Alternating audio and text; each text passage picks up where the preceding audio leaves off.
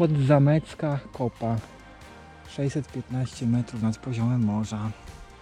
Wydejście niebieskim szlakiem jest dość na wstępie uciążliwe.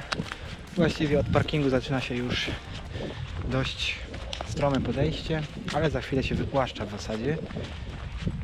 Zobaczymy jak będzie dalej. Generalnie jest kilka stromszych podejść, ale nieźle. Kolejny szczyt na trasie niebieskiego szlaku kierunku Kłodzkiej Góry. Wracam Grodzisko o wysokości 730 metrów nad poziomem morza. Idziemy dalej.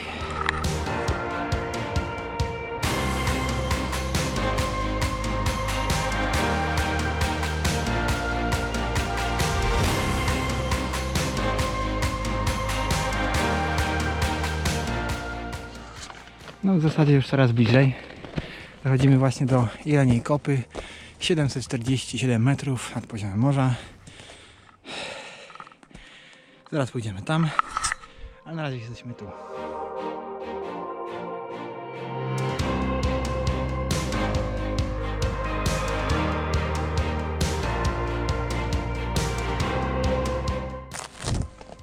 Dotarłem właśnie do szczytu o nazwie Trzy Granice, 730 metrów nad poziomem morza. Nie lada wysokość.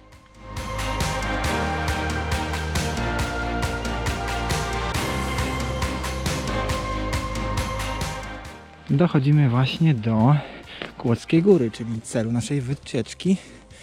Jest to szczyt leżący u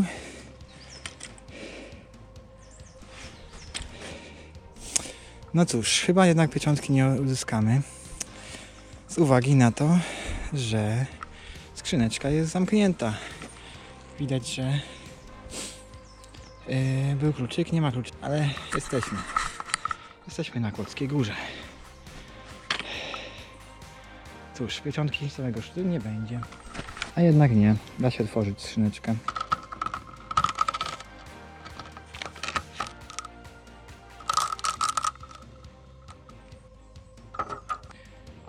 Właśnie dotarłem na szczyt Kłodzkiej Góry, 757 metrów nad poziomem morza. Już sobie wbiłem pieczątkę.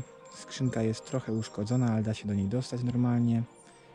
Yy, Są tam różne niespodzianki, cukierki, ciastka, kapsle, naklejki.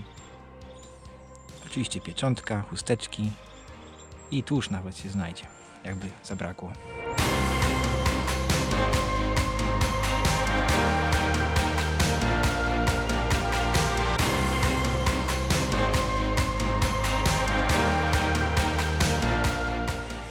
Właśnie dotarłem do szerokiej góry 766 metrów nad poziomem morza. Jest to najwyższy szczyt gór barskich. Jest ona wyższa od Kłodzkiej Góry. Dlaczego Kłodzka Góra znalazła się na liście Korony Gór Polski? Ano dlatego, że Szeroka Góra nie znajduje się na szlaku turystycznym. A przynajmniej nie znajdowała się wtedy, jak ustalali listę tych 28 szczytów.